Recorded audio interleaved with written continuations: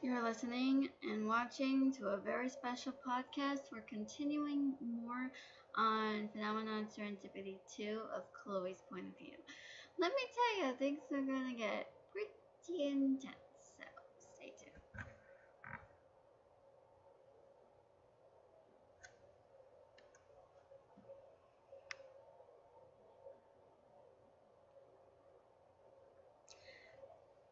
Looks like everyone got there on time. Chloe was seen wearing some sort of outfit. Black tights and a black dress all zipped up. She still had her blonde hair and she had zipped up ankle boots.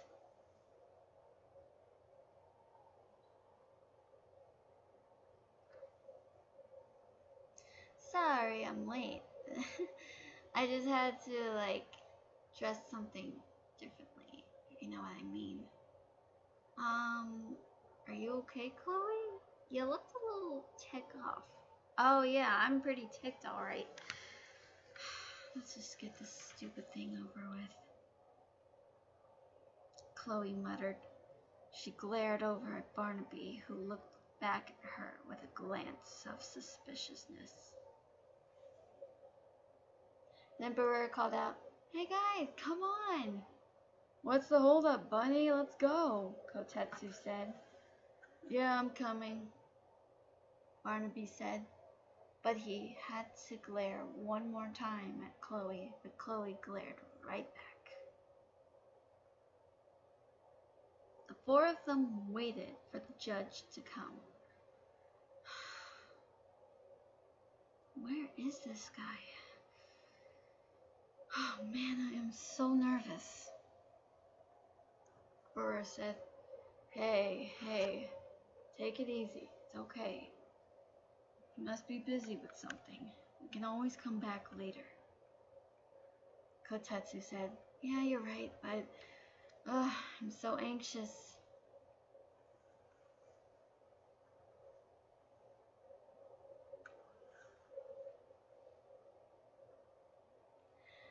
However, as if speak of the devil, some guy with white hair and a ponytail, a messy kind with a few hair strains on the sides.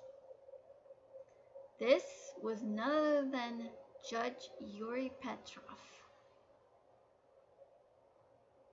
While inside, Chloe and Barrera began to explain to the judge about these creatures that have been roaming around, and Yuri Petrov did note of this strange activity going on.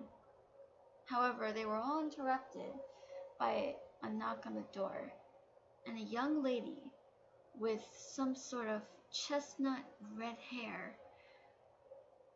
She wore cat glasses, which they were cat looking, no cat ears, but it was like rimmed and they were black and they looked pretty damn sexy.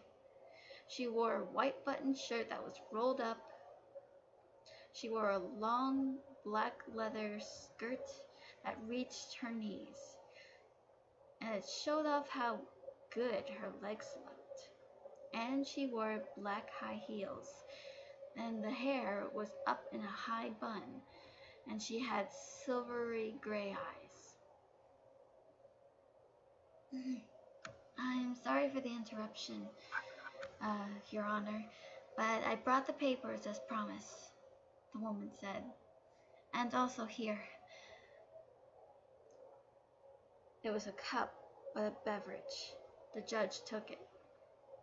Thank you, he said. The woman nodded. Then she glanced at the others. Um, do you people need any refreshments yourselves? Can I get you anything? She said. No, it's fine, Burr said. We're good, Chloe said. Honest, but, uh, thanks anyway. Kotetsu said, Yes, thank you, said Barnaby. He exchanged a weird look at the woman, but the woman left with a huff. Barrere had to pardon herself to use the ladies' room and offer Chloe to explain more. However, Chloe stopped her and whispered, I don't know much about this stuff. You're good at this than me. Come on, you know this too. You're smart as well. I know you can do this, Barrere whispered. Chloe then rolled her eyes. Fine, I'll do it, she whispered back. While Barrere was gone, she had to explain more about the different types of monsters. By the time she was done finishing up with the last one, which was Transfigurations, Barrere returned. Now the judge was getting pretty intrigued with this. He nodded and listened, and he knew exactly. Once the others began discussing about the plans on finding Luna and also taking down these beasts. Once the meeting was over, everyone departed. However, Chloe noted that during that whole meeting, she noticed that Barnaby was giving her weird looks, suspicious looking looks.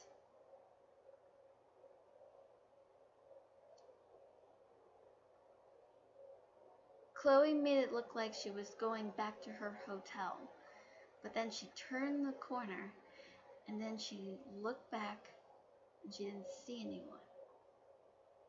Then she decided to go to Barnaby's place before he even got back. Once she got into his house sneakily, using some sort of hairpin to open the door. Once inside, she looked around.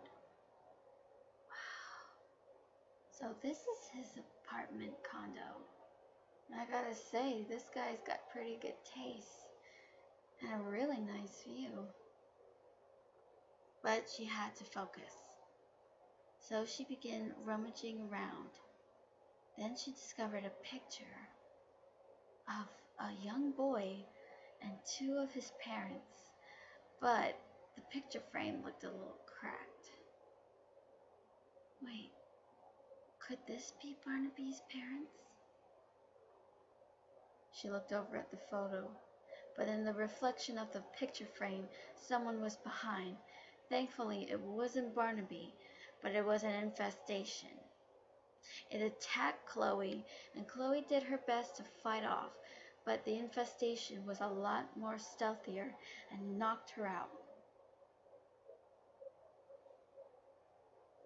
The creature was about to finish the job when all of a sudden it was taken out from behind. It was Barnaby. He just got home.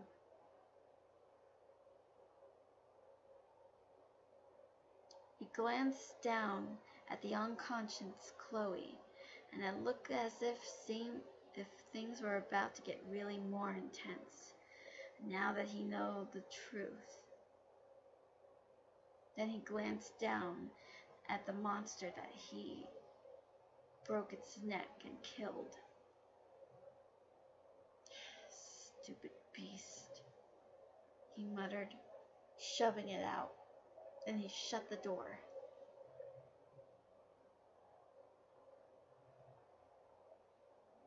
It took him a while to look over at Chloe. Then he said, well, Nix, you finally found out where I live. That's good to know, isn't it? He said.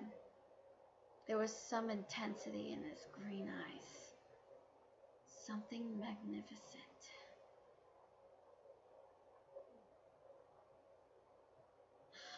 Wow, sorry, I, I got lost in the whole story. Whoa, boy. Pretty different, huh? Well, anyways, um, thank you for listening and watching.